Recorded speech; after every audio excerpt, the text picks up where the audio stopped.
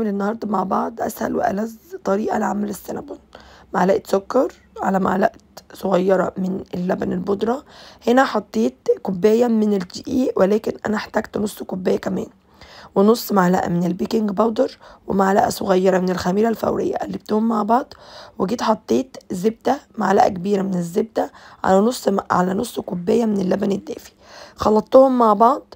هنا زي ما قلت لكم احتاجت هنا معايا العجينة نص كوباية كمان من الدقيق.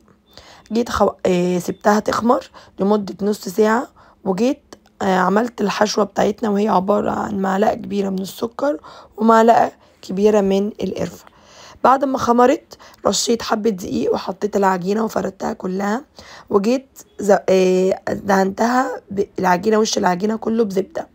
بعد كده رحت حاطة عليها الخليط اللي أنا عملته السكر مع القرفة ورليتها. لو عايزة بقى تقطعيها وتروليها كلها ك ك زي قرص واحد كده تمام؟ أو كل كل قطعة لوحدها مش هتعمل حاجة. جبت الصينية ودهنتها زبدة ودخلتها الفرن.